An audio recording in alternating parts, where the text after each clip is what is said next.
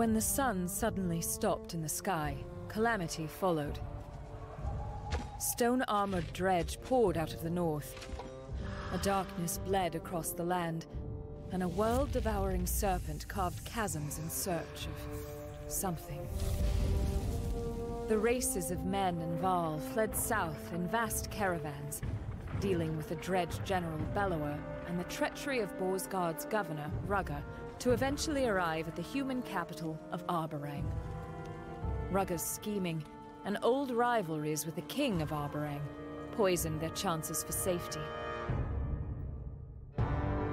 Can they restore the peace before the city turns on itself? Juno and Eyvind, powerful spellweavers who claim they can turn back the darkness, continued on to the Valka libraries, where a terrible confrontation left Manahar in ruin. The spellweavers now have no choice but to push into the darkness itself, protected only by a spell of light and a reluctant crew of mercenaries. Will they be able to drive away the darkness before all of Arberrang and humanity is swallowed up? And at what cost? One way or another, the saga comes to a close. We were as far from safety as we could have been. Me, Rook, and Alette, in our small town of Skogr. So much has changed since then.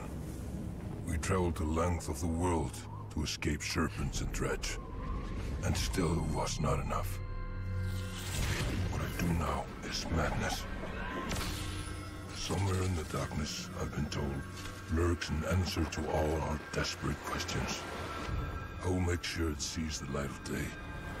All I care about now is that the friends, no, the family I fought to deliver to Arberrang, live to see the sun move again.